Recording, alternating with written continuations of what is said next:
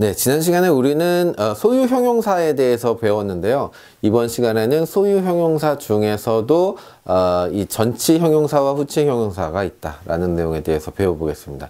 무슨 내용이냐면 자, 형용사의 위치는 어디입니까? 라고 물었을 때 명사의 옆입니다. 아, 그건 맞습니다. 무조건 형용사는 명사의 옆 좌우에 위치하겠죠. 그런데 어, 좌에 위치할 수도 있고요. 우에 위치할 수 있습니다. 보시죠. 자, 전치형 형용사는요, 명사를 두고 왼쪽에. 누에스트로 다음에 명사.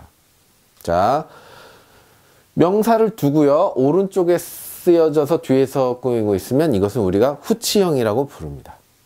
자, 이걸 전치형, 후치형이라고 불렀는데 형용사라는 것은 왼쪽에도 놓을 수 있고 오른쪽에 놓을 수도 있고 자유다 라고 생각하시면 오히려 더 편할 수도 있겠죠.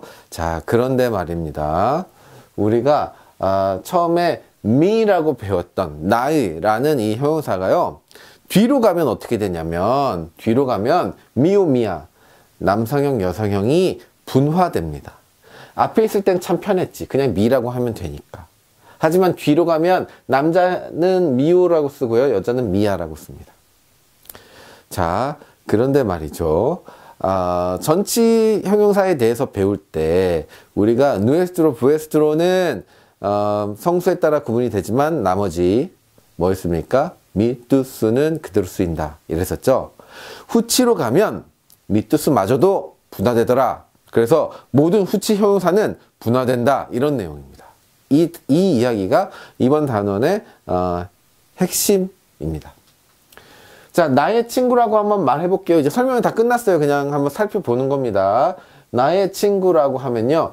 미 아미고라고 말할 수 있고요. 또 미 아미가라고도 말할 수 있습니다. 아미고는 나의 남자친구고요. 아미가는 나의 여자친구겠죠. 자, 이 녀석들은 둘 다 전치 전치를 택하고 있습니다.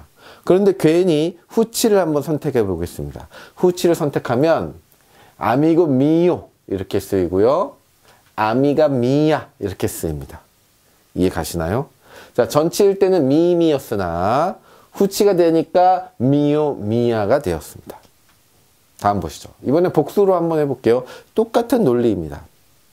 자, 나의 친구들, mis amigos, mis amigas 이렇게 쓰였던 것들이요. 후치로 가니까 amigos míos, amigas mías 이렇게 míos mías 이렇게 분화되었습니다.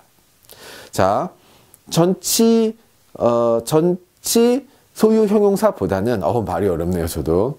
후치 소유 형용사가 좀 더 분화되었기 때문에 어, 쓸때 어, 뭐랄까요? 약간 어, 생각할 거리가 있습니다. 어, 그러나 이 소유 형용사들은 워낙 자주 쓰이는 거니까요.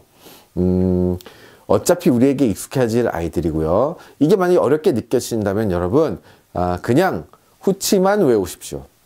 후치가 훨씬 유용합니다 자, 유럽어에서는요, 앞에서 꾸미는 것들은 별로 중요하게 생각하지 않고요.